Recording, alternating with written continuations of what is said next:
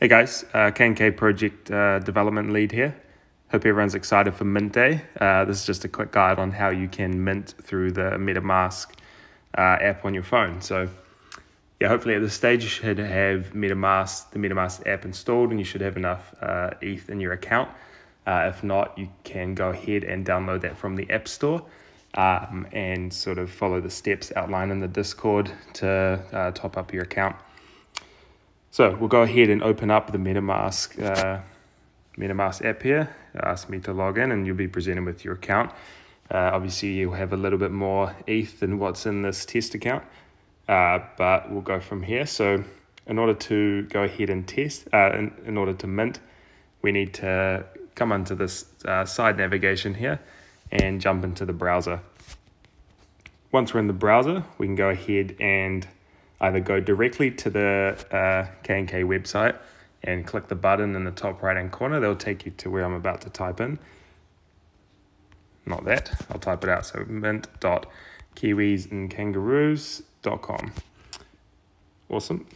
So you'll be taken to this site, and I'm already connected, but because you won't be connected when you first visit the site, there'll be a pop up at the bottom here uh, asking you to connect. Uh, and yeah, so this is the minting site. We've got a bit of information down here, sort of talking about which phase that we're currently in.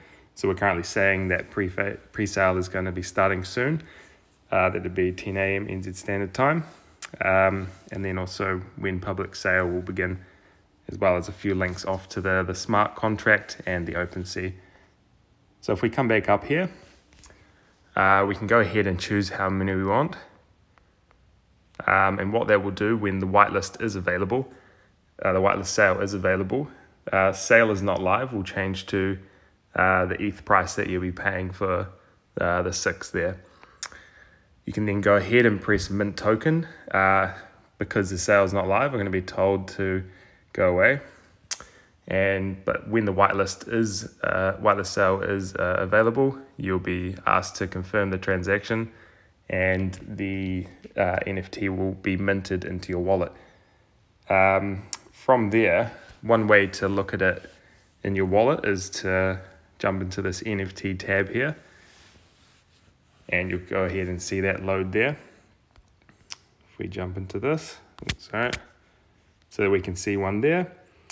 Uh, and then we can go ahead. Uh, one, one thing that we do need to note in order to show this, sometimes it won't pick it up. Uh, you, you will want to come into here, into security and privacy and just jump all the way down to auto detect NFTs, and then it will definitely show up for you. Uh, otherwise, you might have to import it. It's just something that MetaMask uh, sometimes struggles with. Um, but yeah.